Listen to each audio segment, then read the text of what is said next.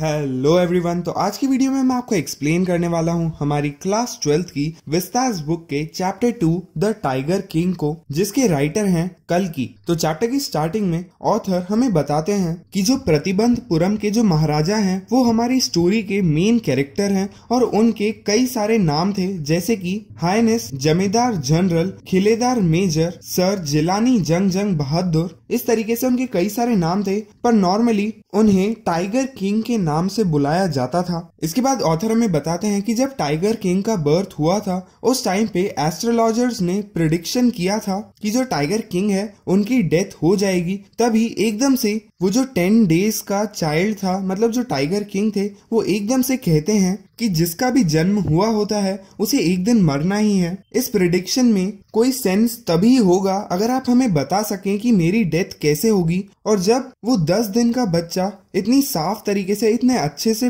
बोलता है और साथ ही में इंटेलिजेंट क्वेश्चंस भी पूछता है तो वहाँ पर सभी शॉक्ड रह जाते हैं। और उसके बाद जो चीफ एस्ट्रोलॉजर होते हैं, वो कहते हैं कि जो प्रिंस हैं, यानी जो टाइगर किंग है, उनका बर्थ बुल के आर में हुआ है और क्योंकि बुल टाइगर का दुश्मन होता है, इसीलिए इनकी डेथ एक टाइगर के कारण ही होगी। और तभी वो जो छोटे से प्रिंस होते हैं, वो कहते हैं लेट टाइगर्स बी वेयर मतलब टाइगर्स अब मुझसे सावधान रहें। और फिर ऑथर हमें बताते हैं कि ये जो इंसिडेंट हुआ था, उनके बर्थ के टाइम पर, ये सिर्फ़ एक रूमर है, एक अफवाह है, जो प्रतिबंधपुरम में फैली हुई थी। पर जैसे जैसे हम इस स्टोरी को आगे पढ़ेंगे, हमें पता चलेगा कि इस अफवाह में ज़रूर कोई सच्चाई है। इसके बाद ऑथर हमें बताते हैं कि फिर जो प्रिंस जंग जंग बहादुर होते हैं, वो बड़े हो गए थे। साथ ही में वो सिर्फ़ एक इंग्लिश काओ का मिल्क ही पीते थे और उन्हें एक इंग्लिश नैनी ही संभालती थी। साथ ही में एक इंग्लिश मैन ही उन्हें इंग्लिश पढ़ाते थे और वो सिर्फ़ इंग्लिश फ़िल्म ही देखते थे, जैसे कि उस टाइम पर दूसरे इंडियन प्रिंसेस भी किया करते थे। और क्योंकि ये स्टोरी उस टाइम में लिखी हुई है, जब ब्रिटिशर्स का इन्फ्लुएंस बहुत ज़्यादा बढ़ गया था हमारे इंडिया के ऊपर तो इससे हमें पता चलता है कि जो इंडियन किंग्स थे, वो कितना ज़्यादा इन्फ्लुएंस थे ब्रिटिशर्स से और उन्हें सुपीरियर मानते थे, इसीलिए वो उन्हें कॉपी करते थे। साथ ही में, जब वो 20 साल के हो गए थे, तब उन्हें प्रतिबंधपुरम का राज्य संभालने के लिए दे दिया गया था मतलब वहाँ का महाराज बना दिया गया था। और उस टाइम पर, वो एस्ट्रोलॉजर की प्रिडिक्शन जो पहले उन्होंने की थी, वो वापस सभी लोगों को याद आने लग जाती है, और वो इस बारे में बातें करने लग जाते हैं। साथ ही में जब महाराज को भी ये याद आता है तो वो सोचते हैं कि अगर मैं अपने सेल्फ डिफेंस के लिए किसी टाइगर को मार भी दूँगा तो इसमें किसी का भी कोई ऑब्जेक्शन नहीं होना चाहिए। इसीलिए जो महाराज होते हैं, वो एक टाइगर हंट के लिए निकल जाते हैं। और जो महाराज होते हैं, वो काफ़ी ज़्यादा खुश होते हैं जब वो अपना पहला टाइगर मार लेते हैं और फिर वो उस टाइगर की डेड बॉडी को स्टेट एस्ट्रोलॉजर के पास भेजते हैं। तब वो एस्ट्रोलॉजर उन्हें बताते हैं कि योर मैजेस्टी आप 99 टाइगर्स को काफ़ी आराम से मार लेंगे, जैसे कि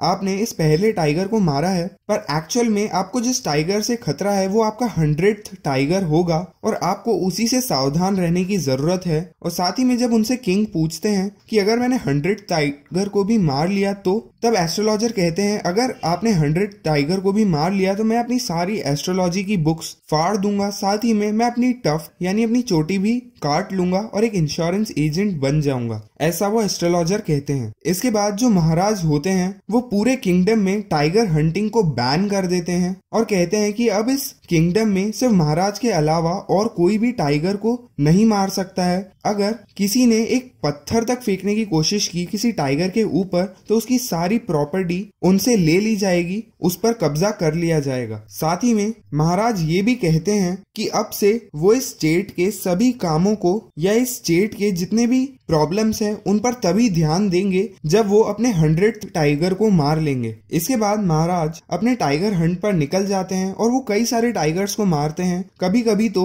उनकी बुलेट जो होती थी, वो मिस कर जाती थी टाइगर्स को और फिर वो अपने बेयर हैंड से ही उस टाइगर को मारते थे। और हर बार जो महाराज होते थे, वही टाइगर से जीतते थे। इसके बाद एक और इंसिडेंट होता है, जब एक high ranking British officer Pratibandapuram में आते हैं और उन्हें टाइगर हंटिंग का बहुत ज़्यादा शौक था और उनके साथ फोटोग्राफ खिंचवाना भी बहुत ज़्यादा पसंद था तो इसीलिए वो प्रतिबंधपुरम में भी टाइगर हंटिंग करना चाहते थे।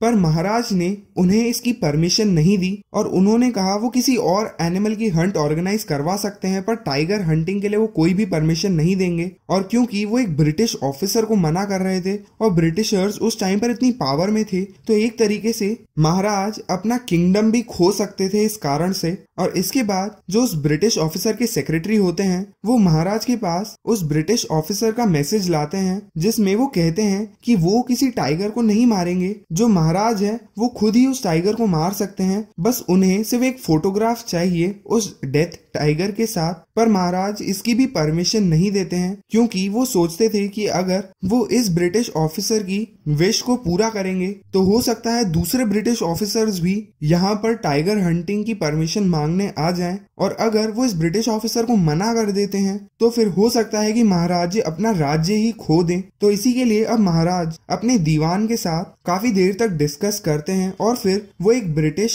ज्वेलर्स की कंपनी से, जो कि कैलकाटा में थी, उनसे 50 एक्सपेंसिव डायमंड रिंग्स मंगवाते हैं अलग अलग डिज़ाइन की और वो सब वो ब्रिटिश ऑफिसर्स की वाइफ को भेज देते हैं और वो सोचते हैं कि वो दो या तीन रिंग रख कर बाकी की रिंग्स वापस भेज देंगी। पर उस ब्रिटिश ऑफिसर की वाइफ जो होती है, वो सभी रिंग्स को अपने पास रख लेती है और फिर महाराज को एक मैसेज सेंड करवा देती है, जिसमें वो महाराज को थैंक यू कहती हैं और फिर महाराज के पास वो ब्रिटिश कंपनी भी थ्री लाख रुपीस का बिल भेज देती है उन रिंग्स के बदले में। पर जो महाराज होते हैं, वो काफ़ी खुश होते हैं, भले ही उन्हें थ्री लाख रुपीस का बिल पे करना पड़ गया था, पर उन्होंने अपना किंगडम बचा लिया था, क्योंकि अब उस ब्रिटिश ऑफिसर ने भी वापस से वहाँ पर टाइगर हंटिंग की परमिशन मांगना बंद कर दिया था। इसके बाद जो महाराज होते हैं, वो अपनी टाइगर हंट को कंटिन्यू रखते हैं और 10 सालों के अंदर ही वो 70 टाइगर्स को मार लेते हैं। पर फिर एक बहुत बड़ी रुकावट आ जाती है उनके मिशन में, जब उनके किंगडम में जो टाइगर पॉपुलेशन थी, वो लगभग खत्म हो जाती है। तो इस प्रॉब्लम का सॉल्यूशन निकालने के लिए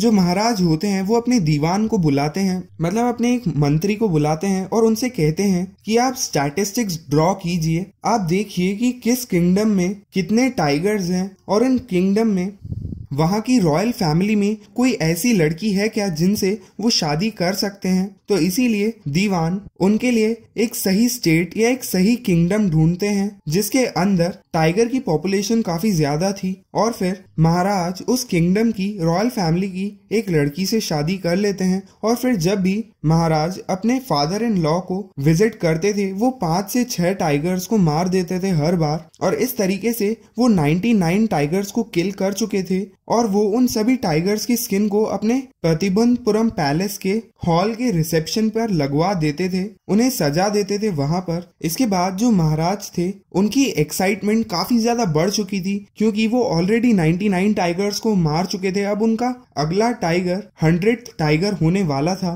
पर इस टाइम तक जो उनके फादर इन लॉ का किंगडम था, उधर भी टाइगर पॉपुलेशन बिल्कुल खत्म हो चुकी थी। और ऐसा लग रहा था कि अब किसी टाइगर को ढूंढना लगभग इम्पॉसिबल हो चुका है। जो महाराज हैं, वो सोचते हैं कि अगर वो सिर्फ़ एक और टाइगर को मार लेंगे तो उनका सारा डर खत्म हो जाएगा और वो टाइगर हंटिंग को भी अब छोड़ सकते हैं। साथ ही में उन्हें एस्ट्रोलॉजर की भी बात याद होती है कि उन्हें एक्सट्रीमली केयरफुल रहना है अपने हंड्रेड टाइगर को मारते समय। पर महाराज को अपना हंड्रेड टाइगर कहीं पर भी नहीं मिल रहा होता है। इसके बाद एक गुड न्यूज़ आती है पास ही के एक विलेज से, जहाँ पर जो शीप्स होती हैं, वो फ्रीक्वेंटली डिसअपियर होती जा रही थी और सबको लगता है कि वो किसी टाइगर का ही काम हो सकता है। इसीलिए जो महाराज होते हैं, वो जल्दी से उस विलेज में जाते हैं, साथ ही में वो उस विलेज के लोगों के लिए तीन साल का टैक्स भी माफ़ कर देते हैं, वो इतना ज़्यादा खुश होते हैं। पर जब वो उस विलेज में पहुँचते हैं तो वो किसी भी टाइगर को नहीं ढूंढ पाते हैं वहाँ पर भी। और इसके बाद वो काफ़ी टाइम तक उसी विलेज में रहते हैं। अब महाराज काफ़ी ज़्यादा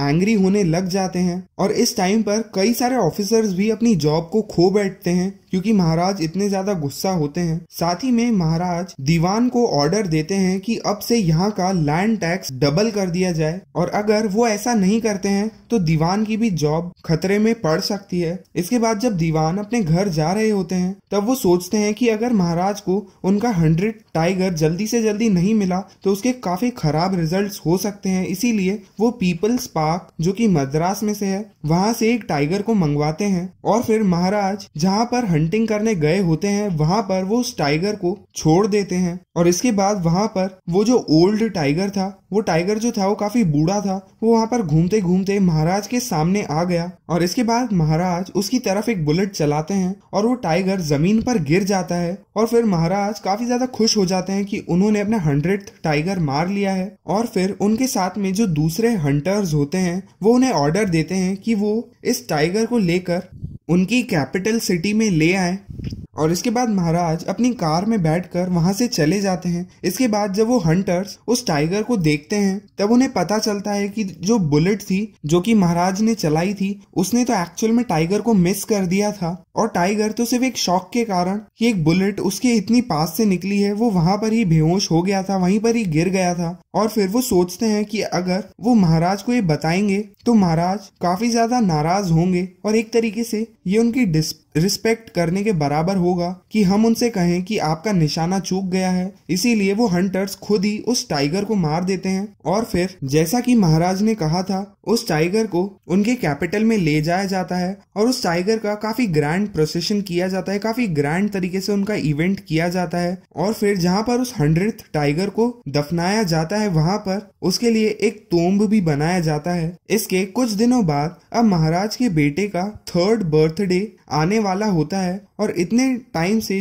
क्योंकि महाराज टाइगर हंटिंग में बिज़ी थे तो वो अपने बेटे पर भी इतना ज़्यादा ध्यान नहीं दे पाए थे, पर इस बार वो कुछ स्पेशल करना चाहते थे अपने बेटे के बर्थडे पर तो इसीलिए वो शॉपिंग सेंटर पे जाते हैं प्रतिबंधपुरम के, और वहाँ पर अपने बेटे के लिए एक गिफ्ट ढूँढने लग जाते हैं, जहाँ पर उन्हें एक वुडन टाइगर दिखता है एक टॉय शॉप में, जो कि उन्हें एक परफेक्ट गिफ्ट लग रहा था अपने बेटे के लिए, इसीलिए वो उसे ले लेते हैं। और फिर उसके बाद जब महाराज और उनके बेटे उस वुडन टाइगर से खेल रहे थे, और क्योंकि वो टाइगर एक अनस्किल्ड कारपेंटर ने बनाया था मतलब जिसने वो वुडन टाइगर बनाया था, वो इतना ज़्यादा स्किल्ड नहीं था, इसीलिए वो जो टाइगर था, उसकी सरफेस बहुत ज़्यादा रफ थी, और उसमें बहुत सारे वुडन स्लिवर्स मतलब काफ़ी सारे वुडन पीसेस उसमें से निकल रहे थे, जो कि बिल्कुल कांटों की तरफ़ थे, और ऐसा ही एक स्लिवर महाराज की राइट हैंड की फिंगर में चुभ जाता है, और फिर अगले दिन महाराज के राइट हैंड में इन्फेक्शन फैलने लगता है उसके कारण, और फिर चार दिन बाद वो इन्फेक्शन